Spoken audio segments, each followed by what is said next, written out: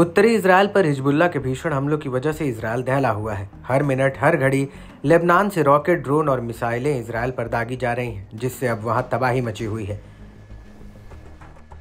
और इस सब के बीच ऐसा माना जा रहा है कि शायद इसराइल हिजबुल्ला का सफाया करने के लिए लेबनान पर आक्रमण कर सकता है।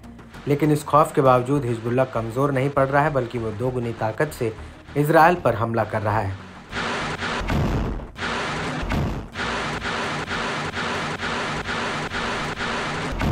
अब हिजबुल्ला ने एक वीडियो जारी किया है जिसमें किरियत, शमोना, कफार सोल्ट और मार्गेलियोट सेटलमेंट पर बड़ा हमला करने का दावा किया गया है। इसके अलावा, हिजबुल्ला ने मिसगाव अम और रामथा सैन्य चौकियों पर भी गोले बरसाए।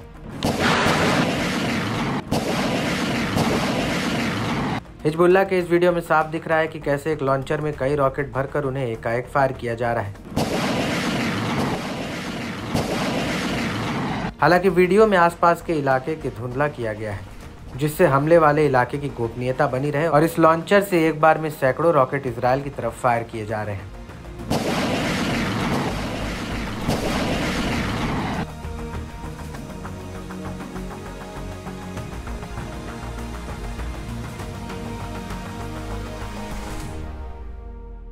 इस हमले के अलावा हिजबुल्ला ने मेटुला सैन्य चौकी पर भी गोला बारूद से हमला किया है। हिजबुल्ला ने इसका एक वीडियो भी जारी किया है, जिसमें हरियाली के बीच हिजबुल्ला का एक लड़ाका ताबड़तोड़ रॉकेट फायर कर रहा है और ये रॉकेट बॉर्डर पार इसराइल की सैन्य चौकियों पर बरस रहे हैं।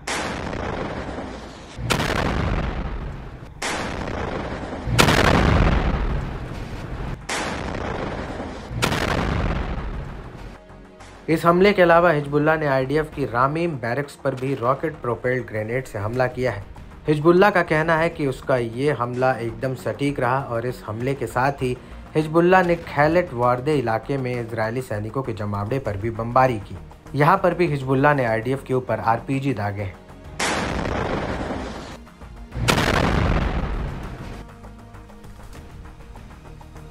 आपको बता दें कि हिजबुल्ला ने बरम जंगल के इलाके और कफार शोबा की पहाड़ियों में रॉकेट हमले किए हैं।